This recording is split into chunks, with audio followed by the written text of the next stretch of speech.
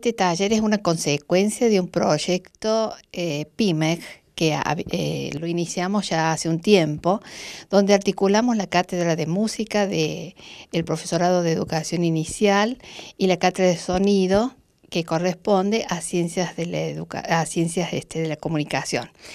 Eh, esta articulación que es intercátedra e interdepartamental se fue desarrollando durante dos años más o menos y fuimos profundizando la tarea de atender a cómo educamos la escucha. Y de allí empezamos a pensar este, en esta actividad que ahora eh, le damos esta, esta modalidad, la desarrollamos en esta modalidad de taller.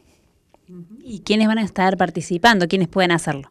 Es un taller que está abierto para estudiantes de comunicación, estudiantes de educación en general, no solamente de educación inicial. Eh, tiene que ver también, es importante, porque eh, en la educación generalmente se profundiza la experiencia visual.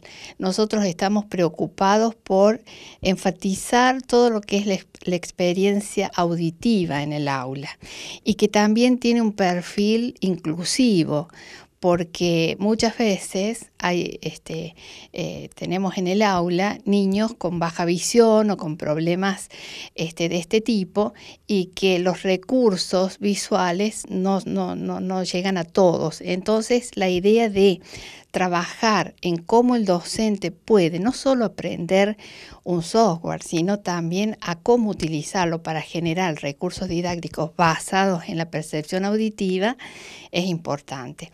Entonces los invitamos a docentes, a estudiantes de educación, a comunicadores y a todos los interesados en este tema.